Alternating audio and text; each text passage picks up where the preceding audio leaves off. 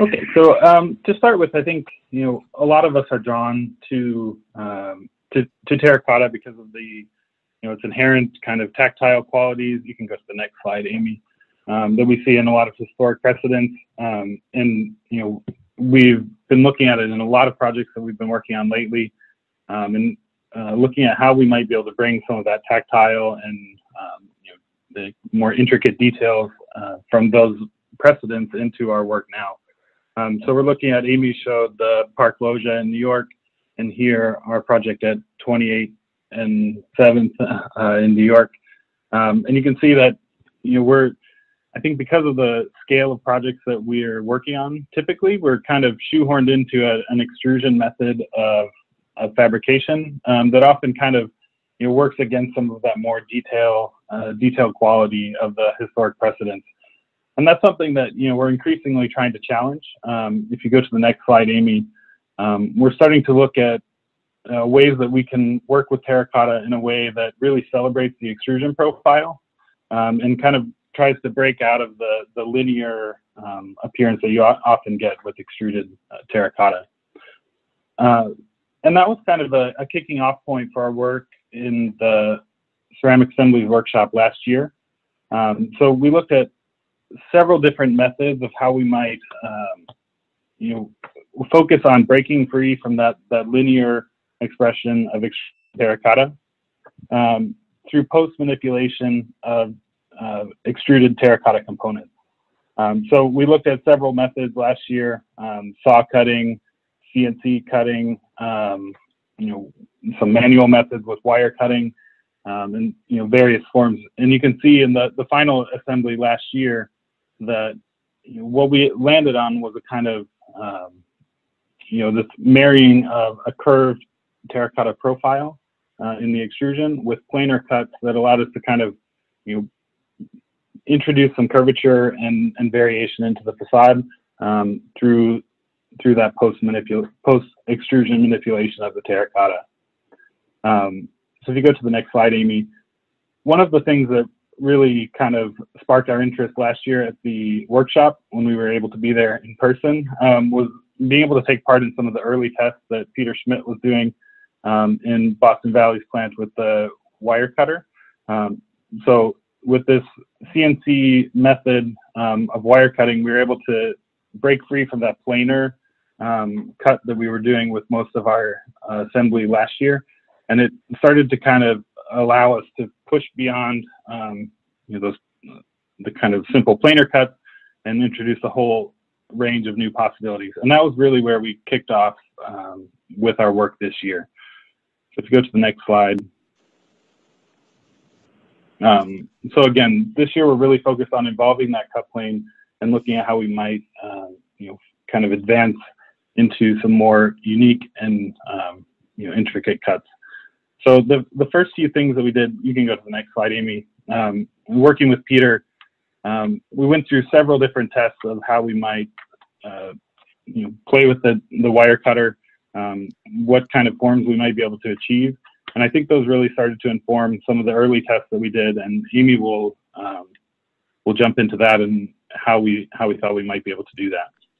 Yeah. So thank you, Eric. We started, you know, working with Peter virtually um, in the Boston Valley shop. And so a lot of our initial explorations were about whether it was possible to potentially get multiple pieces out of a single terracotta extrusion, just kind of working with what they had. And then we also were doing a little bit of form finding, seeing what uh, deflections would look like and uh, what different curvatures of cut planes might look like uh, when applied to the actual wet terracotta.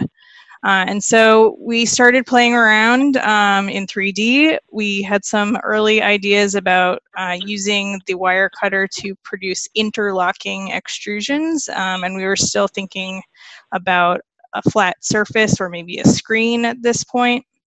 And then uh, we started looking at um, the interaction between a very simple extrusion profile um, and a more complex geometric cut plane. So even a very simple ruled surface applied to a simple waffled uh, extrusion really started to produce a lot of curvature and complexity in the finished pieces.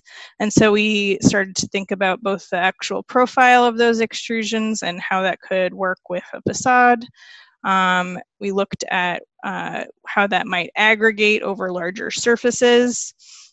And so we sent some of these tests back and forth with Boston Valley um, and started to understand what um, what these extrusions and these cuts might mean uh, for the actual fabrication. Uh, we thought we had some interesting discovery here where when the um, the web of the extrusion was turned at an angle to the predominant direction of the cut plane, you started to get um, a lot more interlocking and interwoven um, appearances on the cut surface. And then we also started to experiment with the edge profile of our extrusions here to think about how you might start to conceal joints between panels um, as you have this continuous cut surface and the mass customization that the wire cutter affords within an extruded uh, universe. And so in the end, uh, we went in the direction of a column study. We thought the three dimensionality that the wire cutter afforded was really best shown off uh, in this form in the round. And although the wire itself is limited to um, a ruled surface just because of the nature of the machine, uh, you can really start to move that around by uh, using a spiral that um, circles around multiple uh, die shapes. And so um, we did some form finding and geometry studies with that column itself. And um, we had this terracotta profile to play with to get a little bit of a better idea of um, how some of those shapes might react. So uh, we did a little bit of testing as well at the efficiencies of whether it uh, made sense to cut multiple pieces simultaneously, and then you get start to get alignments uh, produced across those pieces. Um, and as we went through that, we were refining our die profile. Uh, so we had started with this one, which you saw earlier, and then these um, waffle pieces on the edges, as we called them, uh, really served to conceal some of those vertical joints. Uh, and then we were able to use an existing die plate from Boston Valley. As we saw with uh, Studio Gang's project, extrusions are really not as simple as they seem. And so we worked really closely with uh, the Boston Valley team to refine this extrusion to make sure that uh, the clay would move through it smoothly, that the proportion of the the holes and the actual uh, solid pieces would work well. And so the base for this extruded column really is made up of four of these uh, pieces set back to back. And as these are extruded, they're extruded in lengths that are tall enough that they can still be carried at a manageable weight. Um, and then the cut plane defines that column uh, moving around. The cut geometry then uh, slices in and produces this um, extremely uh, varied form that is really something that you can't really predict how that'll come out until you really cut through it. And um, it looks very complex, but it's actually just made up of, at any given level, each of these um, resultant dice shapes is identical. So there are three final pieces here, type 1, type 2, and type 3. The column itself is made up of 12 pieces. And this is about 6 feet tall. Uh, this is the geometry that we worked with and developed along with Boston Valley. The cut planes here you can see in blue, and the cuts are made um, on the underside. So you have the broad piece supported on the conveyor belt of the wire cutter, and then the ends uh, are also trimmed away. And here you can see uh, the wire cut pieces after they've been put through the wire cutter. This is uh, a set of three and you can see how they line up. And you can also see here the slip that has been applied on the cut face. Uh, we worked with Andy and what we wanted to achieve here in our glazing is a contrast between the cut faces and then the remaining cells and uncut faces of the pure extrusion, you can also see there's kind of a wire struck texture that's left behind on that cut face. So there's already an inherent contrast uh, and we wanted to highlight that even further. And so uh, Andy worked with us and did a lot of different tests of um, a slip underneath, which would be applied while the clay uh, was still wet and just had come right out of the extruder, and then an overglaze. Um, and so we selected uh, this one, which was sort of the most black and white of, of the tests that we did. It's a little bit black and, uh, or sorry, white and blue. And uh, we just got these pictures earlier this week. We're so excited to see how they've come out and uh, you can really see the alignment of those pieces across uh, from the wire cutter and the differentiation that you get between the cells uh, and the slip cut faces. And so each of these is one quarter of the total column and uh, maybe when we're able to be together in person again, we'll be able to get together and assemble these into the final piece.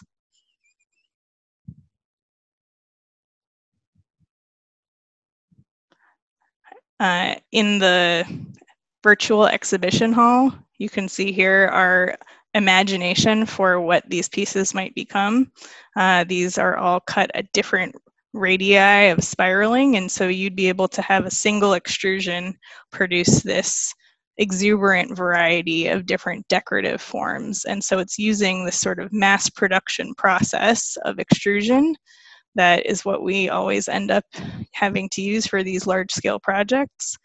Um, but the result is something that in another sense you might think would have been slip cast or ram pressed, um, but the wire cutter enables this mass customization. And that's it for us. Thank you very much. We'd like to thank our team and uh, Rami Abou-Khalil wasn't able to be here to present with us today, but he also did a lot of work on the project. And of course, a huge thank you to Peter and uh, John and, the t- and Andy and the team at Boston Valley who did a great amount of work. We'd like to thank you, Omar. We'd like to thank John, Kraus, Mitch Bring, and Andy Brayman, Peter Schmidt. Um, Andy for helping us with the initial forming and glazing, and also for um, you know Peter in particular with all the production uh, forming.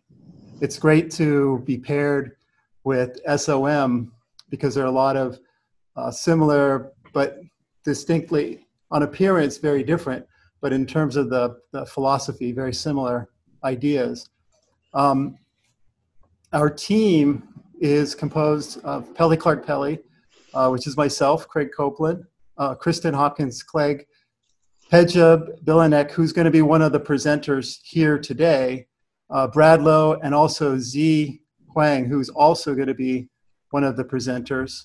Um, and we, we're, we're uh, especially grateful to John for facilitating uh, the three of us to be able to come up and actually do an assembly in a, um, in a, in a safe, isolated place near the factory uh, and you'll see some of the images from that assembly. Um, and we also have uh, Studios Architecture as part of our team, Graham Clegg, um, Zach Bark, Brian Kim, and then Walter P. Moore, we have Eric Verboon. Um, so we'd, we'd like to thank all of the fellow ACAW uh, participants um, for sharing your, your, your uh, respective research. And um, we're just we're sorry that you're not here. Uh, you're all here with us in spirit, and we look forward to a time, as Amy was saying, that we could um, look at these assemblies or perhaps do these assemblies together. Um, so this is the third year participating at ACAW, and the first year was was actually with Andy Brayman as he was one of the leaders of the team called Radical Matter and um, we were we were focused on reimagining the extrusion. And uh, we did all kinds of different interventions with fired extrusions with wet extrusions. And among the emerging interests uh, that came out was how to intervene with extrusions in the wet state before firing And this became uh, foundational uh, in terms of, and this was something that ACAW was, was facilitating, was being able to work with the materials hands-on. You know, it's again, something Eric and Amy were talking about. That's, um, you know, I, am sorry that the others, um, other teams have not been able to do that this year, but hopefully we'll have a chance to get their hands in the wet clay. The second year, which was last year in 2019, we formed a team uh, with PCPA, Studios, Walter P. Moore, um, and we were focusing our research on an extruded rain screen.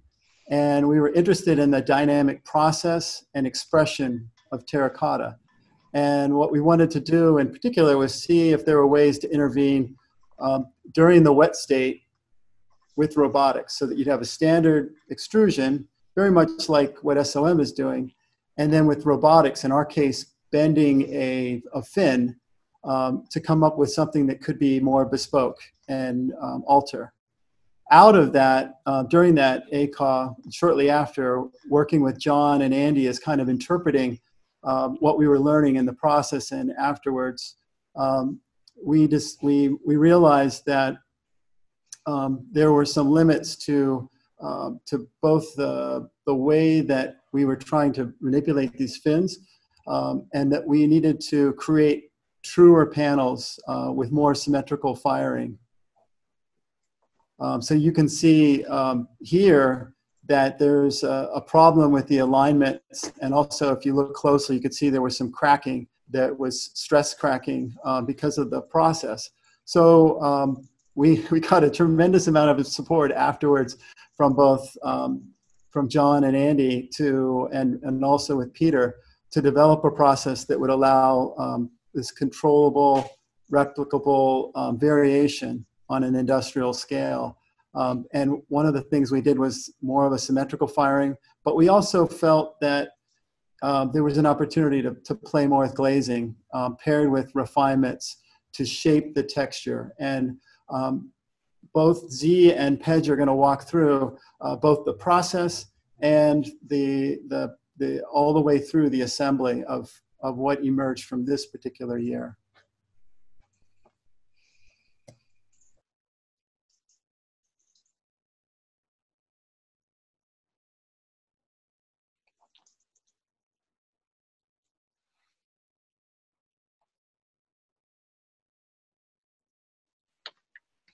Okay, so uh, I'm gonna talk about uh, the shape refinement this year. As you can see, so last year we want to create the dynamic uh, terracotta wall panel. Each panel is different. So this year we are thinking simplify the and also lim limited the variation. So instead of each panel is different, we try to use four or three uh, to stack them to create, you know, also create a, a dynamic pattern and uh, how we bend it and the direction, you know, of the bending. And uh, yes, so the next page talking about the texture. So we explore different scales of the um, groups.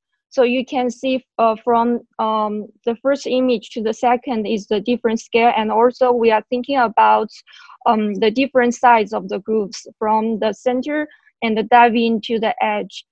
So during the texture exploration, the limitation is like the surface need to be at least 50% flat to, you know, to build the mold, um, to build the mold to uh, reduce the uh, deforming during the bending. So um, you can see the blue arrow here. So that co comes with our final uh, texture. And during this process, we're also, you know, thinking about uh, the, um, you know, uh, the the different color. So, like like this one, you can uh, you can see the um, uh, gradient color from the center uh, to the edge. It somehow could help us strengthen the movement.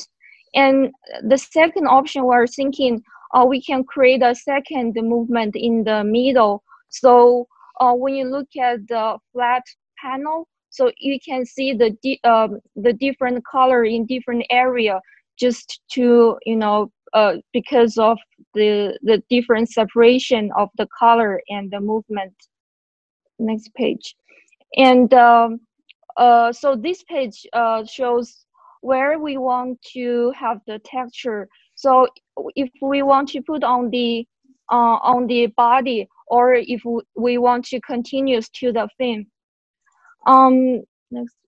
So finally, it comes to the uh, option. We want one side is flat, uh, the other side is with the texture because it's it's it's gonna maximize um, the movement and the texture with the comparison.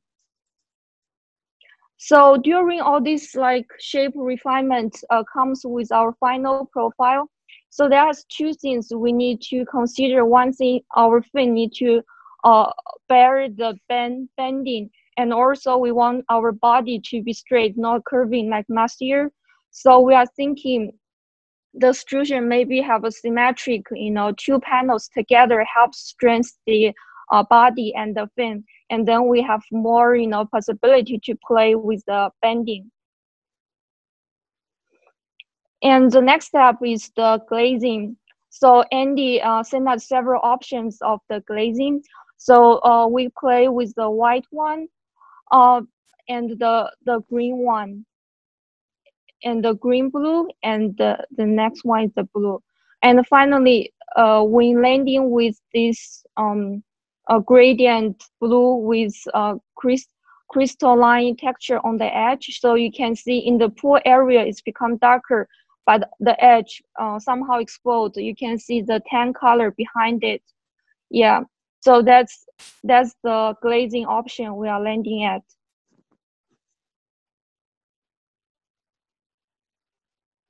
We, we were very excited this year to actually make it happen and uh, actually end up with a with a product that we were all uh, happy with and excited about. So we actually kind of stepped few steps back and made uh, limited ourselves and made only two unique pieces um, that were really uh, carefully curated in order to uh, scale up to the larger uh, assembly. So basically, here you see. I mean, this, these are numbers. I mean nothing, but actually in the terracotta world, there's kind of like pushing the limits.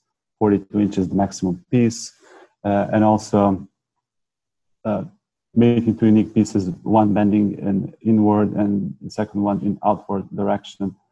Uh, so this is one single piece, inward piece, uh, just for the um, uh, sake of showing the what's the logic behind it. Uh, so all the pieces are oversized three inches in order to do seamless cuts, and also for the last three of usable, less less ends of the usable piece is basically straight in order to make a better blending and the overall assembly.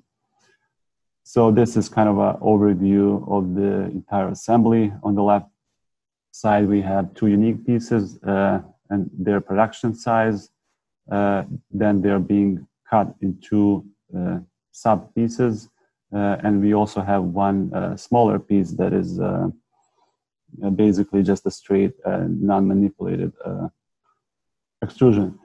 So um, I'm just going to skip uh, forward a little bit. So this is like last year we also noticed that the stack joint uh, was something that we were not uh, super happy about and something that was kind of working against us in, in, a, in a way of slowing the movement. so that's why this year we're exploring a different kind of arrangement and different kind of uh, moving away from stacked uh, but more of a staggered or different ways of exploring it. And in addition to flat panel, this year we kind of introduced a, a uh, freestanding element uh, that can be used as a, in this uh, in this case, uh, abstract column. Um, uh, and also, in addition to that, uh, like everyone else, being uh, completely overwhelmed by the glaze world, uh, we were thinking like, how do we how do we control the glazes? Uh, how how not to get overwhelmed with the color and and and find the right balance and the scale of using the right glaze.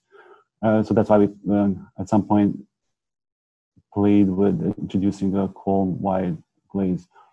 Um, and also to remind everyone, uh, we're still kind of looking into an industrial way of manipulating uh, terracotta fin in order to achieve endless possibilities. But this year, uh, we kind of decided to step back and make uh, uh, fewer pieces in order to uh, kind of finesse the the industrial process that's available right now. So this is a roller that was Andy was uh, developing that can help us to actually achieve that goal further down the road. actually, be able to produce endless variation in the industrial process of extruding terracotta. this is where we landed this year, and um, basically using uh, molds to uh, achieve the shapes that we were after, um, kind of scaling back, uh, reducing number of pieces. Um, and this is showing basically all our kiter parts um, that were used to assemble our uh, final assembly. This was taken just two days ago. Um, next image is kind of the final glaze that we uh, chose in a, in a shade. Um, environment. And this the next image is showing it this same glaze uh, outside in the sun. Uh, in addition to exploring the glaze, we thought we were done with the glaze, but that's not the end of the glaze. It's also like how many times you apply the glaze um, on the surface and what kind of a surface uh, the glaze applied to. Um, and also Boston Valley also admitted that they had some uh, issues actually realizing what is this glaze about, why is it behaving so strangely uh, on a flat and a scored surface. Uh, so over in the foreground, you see a glaze applied four times, and in the background, you see glaze applied uh, three times, and quite uh, significant difference. Um, this is a detail of a glazed piece that has a glaze applied uh, four times, and you see deep uh, blue pooling. Um, and now we're going to slowly move from the inside, the outside of our assembly, because we were lucky enough to actually assemble uh, our piece. So this is a side of the assembly that has the uh, scoring and the grooves. Uh, and this is the other side it's uh, flat uh, doesn't have any, any uh, texture. And it, still has labels on it. Um, we had some fun assembling it and also learn uh, learn a lot because uh, the column piece and other uh, more complicated pieces probably need some more thought in further down the road how to assemble it and how to make it more uh, applicable in the, in the future. Um, and this is in uh, like an interior lighting, uh, just under fluorescent lighting. Uh, and this is our assembly uh, column as well as a flat panel in a daylight. Um, uh, we are really happy uh, with how it came out. Uh, glaze has, uh, from the images that you showed, that we were kind of afraid of having too much glaze. I think we ended up having just the right amount of glaze and character in the glaze. As you can see in sunlight, there's a quite a lot. Um, play in the glaze and the reflections and uh, shadows and a different side of pooling. Um, a couple of images of details of the assembly uh, in the sunlight. Um, this is a column assembly. Um, and this is the final image, uh, the assembly on the outside.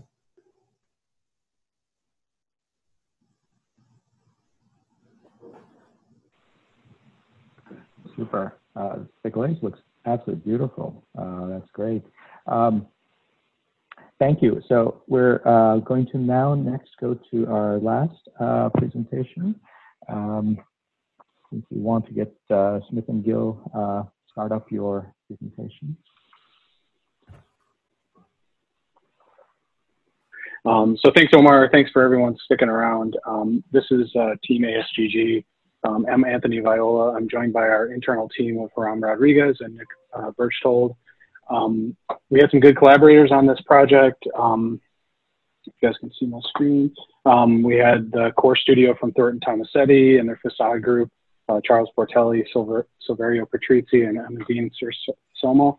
I'd like to also thank our uh, University of Buffalo team, Carlos and Jonathan, um, and the ACAW team that we would uh, scramble weekly to meet with. Um, Mitch, Peter, Andy, guys were awesome. Oh, here's just a picture of us as well. So cool. Our um, our investigation, um, you know, we started off. This is our first year at ACAW. Um, our investigation started off being, um, you know, really look at trying to embed or augment technology technology into the material or processes or configuration of the terracotta and to make it into a polyvalent terracotta cladding system. So this was like super ambitious. We had no idea what the heck we were doing. and, uh, and so we, you know, we kind of dove deep in. We, we were pretty adamant about, um, you know, the work of Smith Gill is, is, you know, high rise building design. So, um, you know, we, we did want to make it a facade system and I could, you know, kind of point out some of the pitfalls and things that we did um, along the way. Again, this being our first ACA, one of them was biting off too much, um, more than we could chew. So, so um, I think this is, you know, sort of how we could focus. So I'm going to present in the virtual environment here and just let me know if it's like kind of crazy. I'll take it slow. Um, so just real quickly, you know, our investigation, um, you know, this early stuff, we looked at, you know, material precedents and historical uses, not having a whole lot of experience with it. What we were really taken with um, was the, you know, the Guastavino vaulting, um, which is, you know, pretty awesome in that um, it does a lot of, it has a lot of things going for it. It has low tech, low embodied carbon material, um, but in a configuration that's really efficient structurally, uh, complex fluid geometries, um, just you know, great. And, um, we also looked at these, um, the structural terracotta blocks that were developed in the early 1900s um, that I think were born out of, you know, the fact that they were lighter weight than traditional masonry, um, fireproofing in early high-rise steel frame buildings. Um, and it could be configured in a way that allowed it to be vertical horizontal application depending on how they kind of tweak the cell configuration. This is something that like um, the Studio Gang guys also, I think, found very enamoring, uh, and I think you know, great to chat with them about it um, because it's you know for us it, it, was really you know a different way of looking at a problem. Traditionally, if I look at this diagram, we're just looking at how we would develop buildings internally at ASGG. You happen to be like you know we'll come from the overall form and, and get down to the component design, and, and we do it is a circular process. Um, but I think you know in general, our feeling is that the most you know, damage or good could be done, you know, with the overall building design versus uh, this exploration. And we really wanted to look at, let's go down to the crystal scale and, um, you know, try to design a component that then could be aggregated. Um, so one of the matrices that we developed kind of as we were going through this early investigation, just exploratory stuff was um, this idea of local and global modification. So local, you know, things that we could do, um, you know, to the material or to slight, you know, local configuration, but then would aggregate itself into a facade that is, um, you know, performative. So an example of this is, you know, actually like, um, you know, an early investigation into um, looking at TX active products um, within either the clay body or in glazes. And, and again, this is again part of our biting off more than we could chew. Um, this was something that, you know, we, we could have spent an entire workshop investigating that. And Andy and and Peter and Mitch were very good about kind of bringing us back and understanding that that was maybe you know a little bit more than what was able to be done during the workshop. But you know we did understand you know that there's that that um, that a post post fired, uh, cold applied or warm applied, uh, relatively warm applied to the surface um, would allow us to you know possibly um, integrate some TX um, coatings on the surfaces, which would allow us to, you know, have a material which is, um, you know, able to, to feed smog and, and um, increase the air quality. Um, so, you know, again, we looked at different ways that the surface could be modified. And then when you look at it kind of at an overall, as we step through, you know, sort of a, uh, an example fin, we can, um, you know, we'll, we'll see that the, as you increase these sawtooths, the overall surface area increases, you know, by 60%. So in this case, there's a direct correlation between that and how much VOC smog eating potential it has. Um, so that was, you know, very interesting to us. Um, and, and the way that we sort of looked at, um, you know, these three tiles, we'll show you, um, you know, then when we take that small surface texture application um, and put that on extruded components, um, you know, initially our thought was that, you know, Boston Valley would be able to extrude these great ribbons and be able to bend them in some of these configurations. Um, you know, as uh, the Pelli Clarke Pelli team pointed out, you know, there's a lot of um, there's a lot of cracking and investigation that would have to be done with that. Um, but you know, this is us just sort of playing and and I'm trying to understand some of the material properties. And, and in this case, what we were looking at was how could we make these modifications to say a fin structure that would change orientation um, for you know things like solar orientation, or if we um, apply photovoltaic cells to it, how it could be best oriented towards the sun, how they could be twisted to um, you know change the axis of bending um, in a way that you know can make it structurally more sound and or change the density and opacity of a wall. So if it's going to be a part of a wall system, the you know the window to wall ratio is an important thing that we want to be able to say we can you know we can accommodate a high window to wall, wall ratio or high solid portion of the wall um, in a sort of beautiful way. So then you know again this is presenting as if it's a linear process, but it being circular. Um, you know we developed sketches which were just like okay now how do we take those individual thin pieces and collect them together. And Hiram, uh, you can talk about the, you know, once we once we came up with some of those sketches, yeah. and uh, I think the, the, process of evaluating it. Yeah, I think after the initial, you know, sketching form, uh, there had to be a, like a drawback to make sure that we can rationalize some of these forms that we're actually taking paper, right, and and making them feasible for us to do the analysis. So what we ended up doing was just to compile all this information into a, a grasshopper design script and using that as a means to iterate through the design, right? We want to make sure that we can get the most out of it and investigate as many options as we can through in the early in the design process. And basically what we did ended up doing, it was, it was basic, you know, a Bezier curve, a variation of extrusion and, and the form outside as well, the, the, um, the texturing as well as Anthony was looking at it. And what we ended up using, it was an evolutionary solver called Wallacei. Uh, and this is a multi-object uh, optimization uh, engine. And all it is, is you put a lot of information there, meaningful information, uh, and you get the best, you get, you get to pick the best options that you can uh, uh, analyze for. And for us, some of the matrix, you know, some of the outputs were enormous amount of data and library that had quantifiable information that we can use. And this is very meaningful for us to, in order to create benchmarks, identify, you know, which of these can then go into a format that we can then subsequently do more analysis.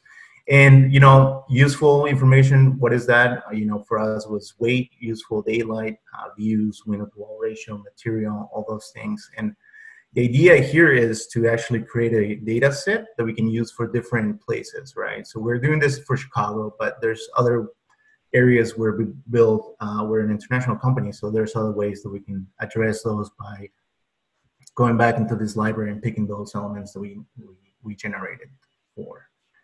Um, so that overall inform also, we did a sort of like a, a, embodied carbon analysis on the form as well prior to the uh, AFE model.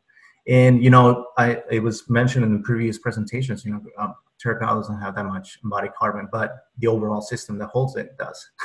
So I think thinking having involving that process early on in the design and in this library data set is important because it's important for the client, for ourselves, for everyone else to understand that, you know, it's just in the territory, but there's an overall system that uh, adjusted and hung and, and the connections and all that information.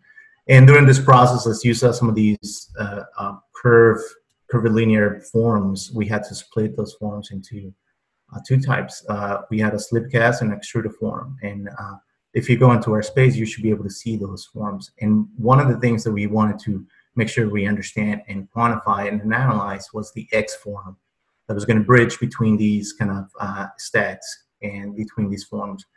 And uh, TT, Thornton Tomasetti, New York City, the facade group did the uh, FE analysis. And what we asked them to do is to not just do a analysis of just normal uh, PSF uh, for the uh, form, but increase to see whether or not the form will fail. And to our surprise, it didn't fail. It, it, it, it we went through it, it, it was fine. The only issue that we found or we saw is that at the pin connections, that's where the, uh, the, the, the, most of the uh, problems happen. And this is something that we had to work through the process of involving all the teams, I mean, Boston Valley, TT, ourselves, to understand what those connections will be to the facade, to the to the uh, to the slab, and resolve them in that connection itself. So overall design, right? And for this project, we had two, right? Slip cast and extruded. So we had to incorporate two types of um, uh, connections to support it, and it just it it gives you that kind of like okay, so. now that we want to, we went through this process, right? Like, how do you can simplify some of these things? And and and understand that you know um, some of these designs will have a uh, a a you know a dribble effect right it will affect other things uh, within the building and we wanted to make sure that whatever we designed was something feasible for ourselves and uh, other people and these are just options that we came up with at the beginning of uh, throughout the process right uh, how we fluctuated those uh, fins uh, what was the support uh, within those elements, and this informed as well the, our embodied carbon um, analysis.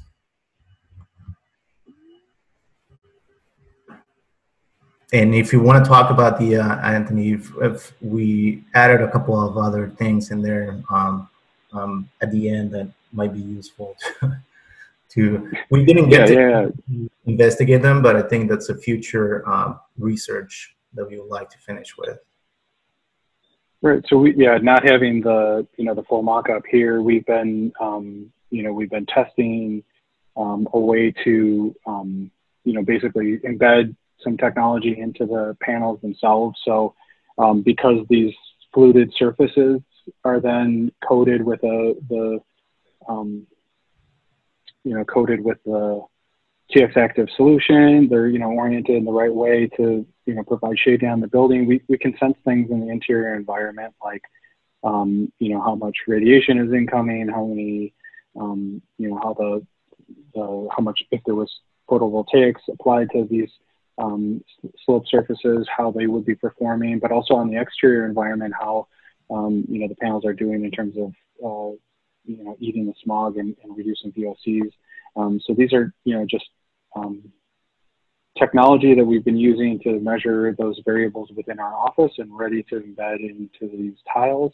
Um, and one thing that, you know, that, um, you know, is part of our embedded panel is like an LED strip that runs the length of uh, the X and the extruded form, um, which are, you know, shown here in these um, sort of night renderings. Um, and these are a couple of just parting shots, which were hot off the press shots from Andy of pieces coming out of the kiln now, um, which has a very light, um, sort of simple glaze, um, just to kind of not not be too combative with the complexity of the forms, um, and to also you know be a be a better surface to apply these um, TX solutions to. So um, that's about it. I'll walk you back.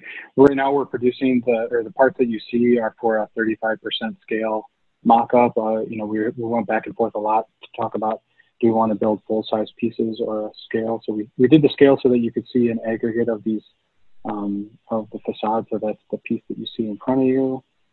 Um, and then this is the wall, which is the full-scale version of that. Cool. Cool.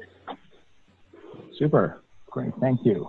Um, so what I'll ask you uh, do is, is just have uh, uh, everybody who is just on a panel just to uh, make themselves the videos visible. And maybe we get ourselves started with just some uh, some questions. One of the things that I'm um, uh, intrigued by, of course, with this group, there are two of you that are, of course, come back uh, uh, from last year and sort of building on it, and and and um, Smith and Gill is is is a newcomer here, and of course, getting a, a, better sense of of this material. Um, I think the the interest of you know the mass production and the customization problem, uh, especially with uh, one of the things that, it, that with terracotta it is, of course, it's, it's all custom made. Uh, there's nothing sitting on the shelf, uh, but this manipulation of um, uh, the whole process in order to. It, can you guys speak a little bit? Is this just a desire for more uh, var- variability? Uh, what is the underlying kind of uh, motivation for uh, that level of manipulation of, of form?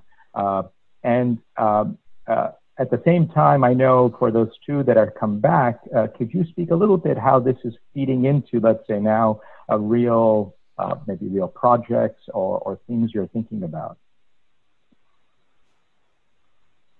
Um, yeah, for sure, we could start off with that. Um, we, you know, this is absolutely, you know, when we started the ACAW workshop, you know, we we had projects on mind, and this is, you know, absolutely right in our wheelhouse of what could be applied on projects.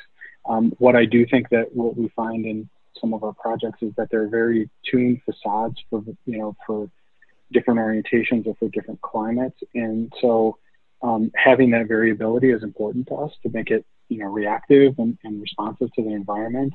Um, and I think you know in other materials you are very constrained by what the outcome was going to be. You know you're very you're designing the the you know what the component is um, versus with the terracotta we didn't know what the component is until really until very late in the game. I mean all that stuff that we saw at the beginning was all just like you know designing a sort of um, um, it, it was a you know was designing a process, not necessarily what the outcome is. Um, and so I think that that was really cool to then be like, okay, hey guys, you know, Peter and Andy, how do we build something like this, or what could we do? You know, how is the material going to react to do that? And they're like super experienced with just being able to realize that and to make the whole thing, you know, better because of that. Because it's a custom piece, uh, you have all of a sudden a little bit more flexibility because it's structural. You have flexibility because it's you know the high thermal mass. Everything that everybody mentioned today, it's like all that embedded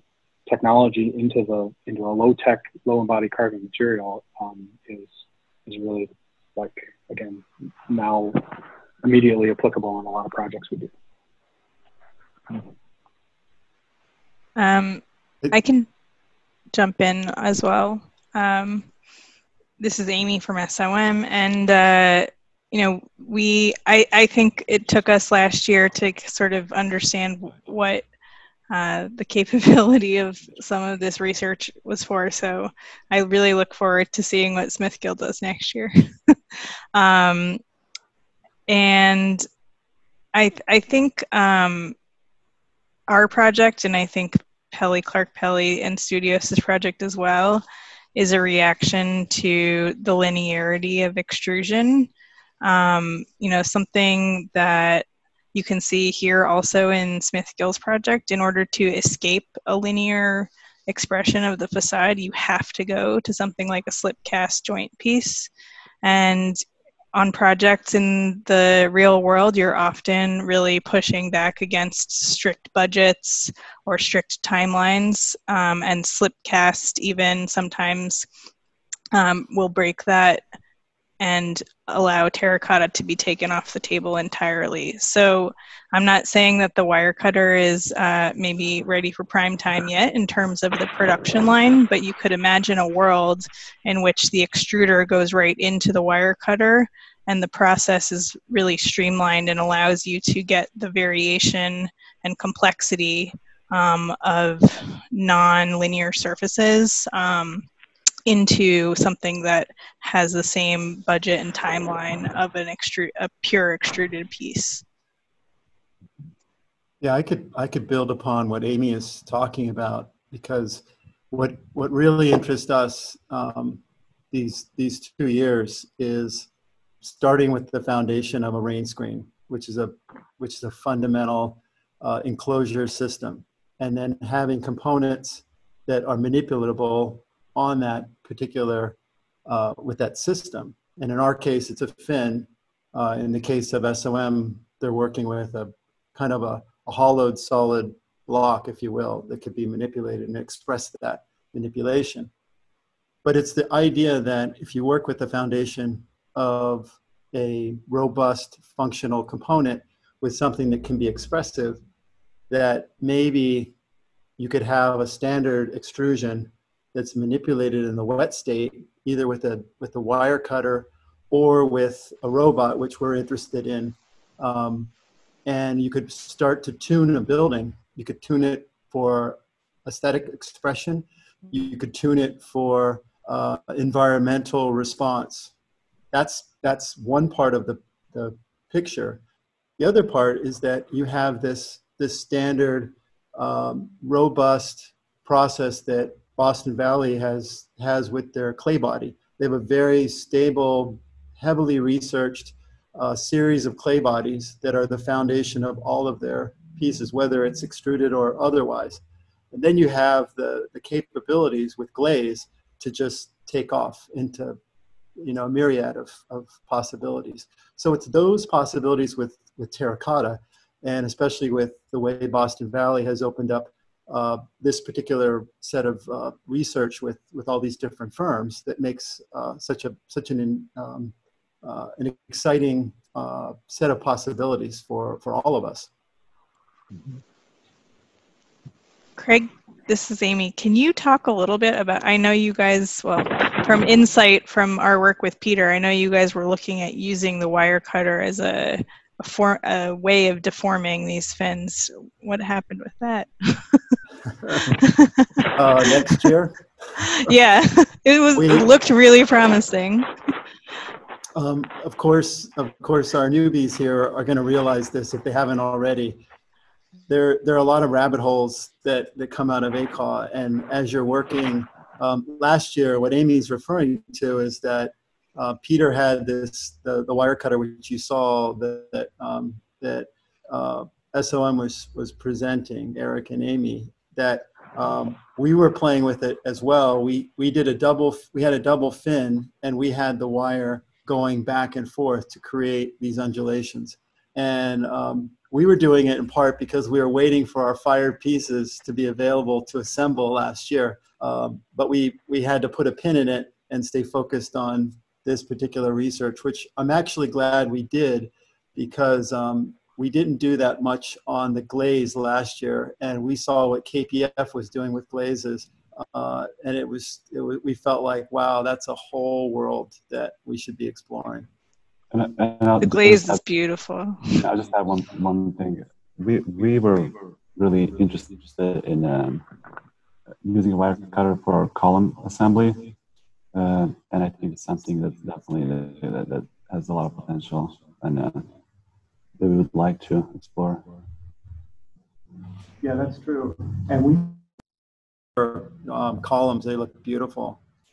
And I'm, I'm glad you explained that it's four pieces together to make the column and to see the, the, uh, the virtual model because we saw them laid out, which in and of themselves look, look intriguing, but are even more uh, are even more uh, intriguing in the idea of putting them together. Thanks. Uh, Amy, just a quick question about the, uh, the glazing. Uh, so you, you do the wire cutting first, and how are you glazing that? Uh, so, so because the, the interior webs are being also exposed, and is just a was there some because your original ones actually showed the webs in a different way when you were cutting them after firing. Right. When we did the saw cutting in 2019, you're sort of limited to the raw clay body being the exposed surface. Um, and so by cutting the wet clay, you have a little bit more flexibility with how you can manipulate that afterwards. And so um, it was basically, uh, Andy can speak to it more maybe, but as paint roller. And so you use the that on the hmm. exposed mm. surface um, and so we did some testing to see how that would run and expose at the corners. I think we were open to a little bit of a, you know, more natural look and revealing the process. Um, mm-hmm. and then the over the white glaze was just sprayed over. Um, I think any other question? Go ahead sorry, Omar, I was just going to add to what Amy was saying that um, that was one of the big benefits, I think, of doing the, the wire cutter, where to get a similar effect with the saw cutting, it would require kind of twice through the kiln, um, mm-hmm. applying a second layer of glaze over the previously glazed surface. So this was kind of a, a unique opportunity to kind of apply the glaze twice before it's fired at all, um, and then have the glaze kind of interact together. I think that was a really cool thing to see. There's a there's a new tool that John was showing us in the factory um, that has it has two or three wires that can cut the extrusion perpendicular. And the reason that's important is you could get precise cuts within a tolerance. Um, John's gonna he's probably gonna say I'm- too tight, but you know within a tolerance of uh, maybe a quarter of an inch over the course of four feet. And the reason that's important is that um, what we did this year was the glaze was done as as Pedja was presenting uh, with three extra inches on either side, and then it was cut afterwards, so you leave these exposed edges. But by cutting it in the process, and this could be lined up with the with the extruders, by cutting it in the process, you could glaze all the sides, so you can expose those if you have a, a rain screen with joints.